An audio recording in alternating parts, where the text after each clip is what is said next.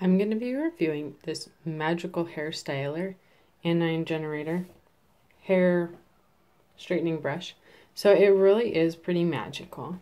Um, I tried it already and it kept the frizz down and it worked better than any other straightener I've had before.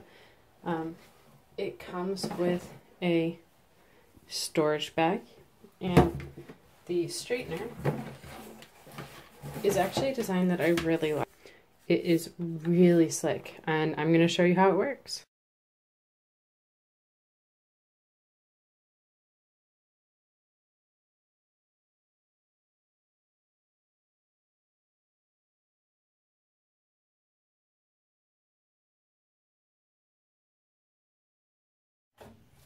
So one other thing I wanted to show you about this straightening brush is that yes, it's warm, but it's not super hot. Like I've had some that I won't touch.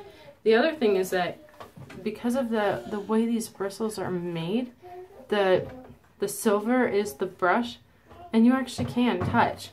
And even though it is backwards on the screen, 450 degrees, you can still touch the tops.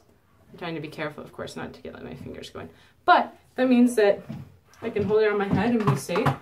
And if it clicks near my ear, it's not painful. Um, this is probably the best straightening brush that I've ever used.